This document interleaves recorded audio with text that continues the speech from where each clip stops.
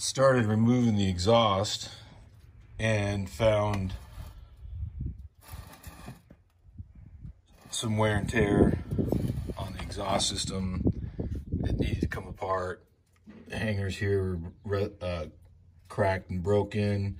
You can see traces of leaking. Uh, it's not completely shot, but it needs to be completely all disassembled and cleaned, inspected, welded if anything needs to be welded, and then reassembled. And we have new exhaust pipes. So these, the pipe is going to from here from there all the way up to the tip, that's going to be a, I have a new stainless steel exhaust pipe that's tapered, just like the factory, just like it came from the factory. This is not, this is just like a straight pipe and it pops. So when the exhaust, when it's firing, it's popping out, out, both, both sides. Well, with putting the taper in, cutting it at an angle and having it out the back, it allow it a lot a different it'll change the exhaust from a popping sound to a more smoother smoother exhaust sound. And it also helps when flying through it'll create a that you know it helps even out the pressures. All right so we're just getting ready. Uh, oil cooler is going to come off. It's going to get sent into cryo heat. There's going to be a few parts and pieces that get sent to cryo heat. Uh, the valve covers, I have a new set of valve covers. Um, see.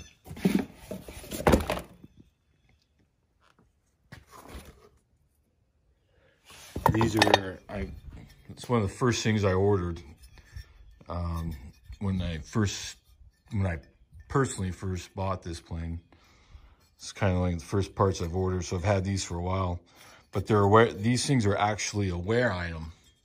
The rocker shaft free floats, uh, and the sides are the service limits of the shaft. And these things, the pads, are the pad, some of these pads are wore pretty good on there where it spun on it.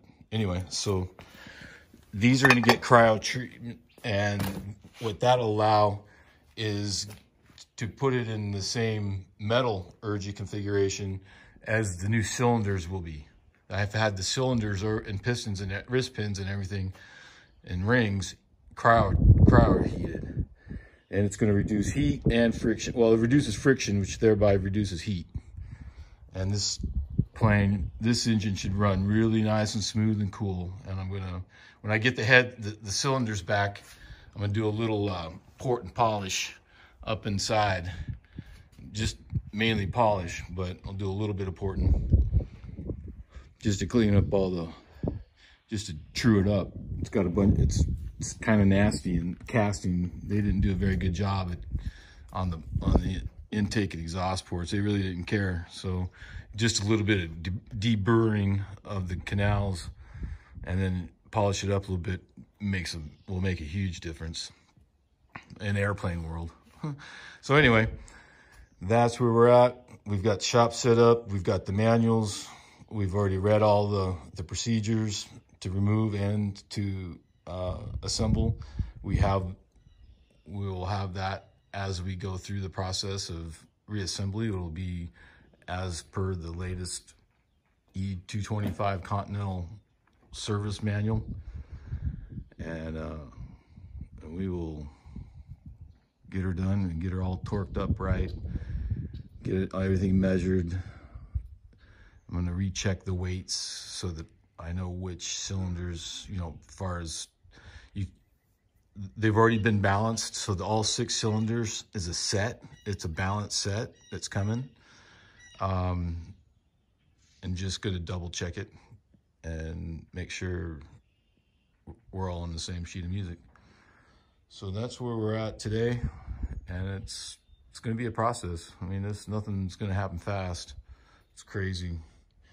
But we're going to make progress today of removing all of the exhaust intake, uh, everything getting and moving the heat shields and baffling that needs to come off and prep this for cylinder removal.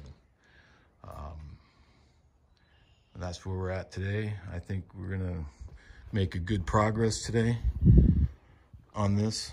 I feel real good that we'll have most of this disassembled. I'm not gonna remove the cylinders yet. I'm not gonna remove the cylinders until I have the uh, the other cylinders set here, but it'll be ready. So that's where we're at for today. You guys have a great day. Bye.